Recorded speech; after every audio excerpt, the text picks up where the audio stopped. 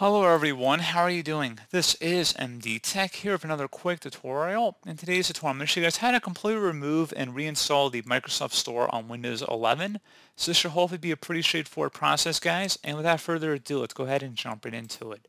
So all you have to do is open up the Start menu search, type in WS Reset, best match should come back with WS Reset, go ahead and open that up, and this should reset the Microsoft Store.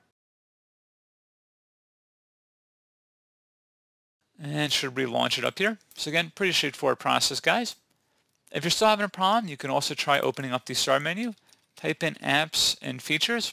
Best result should come back with apps and features. Go ahead and open that up. Select versus apps and features. And then in the search apps field, go ahead and just search for store.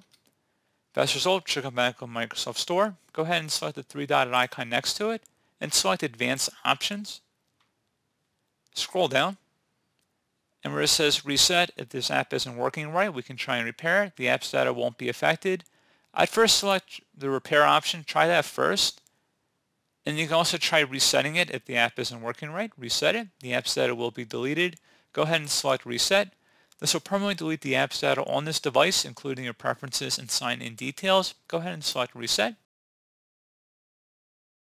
And then once you know what that, you can close out of here and you want to go restart your computer.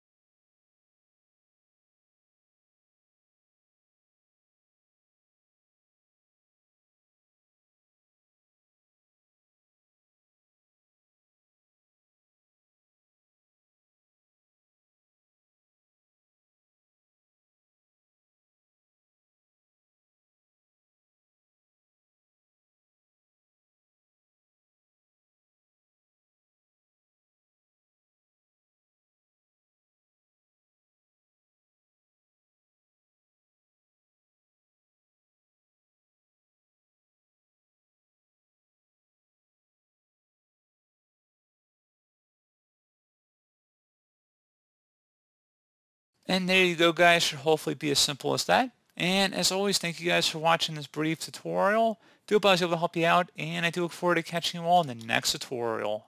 Goodbye.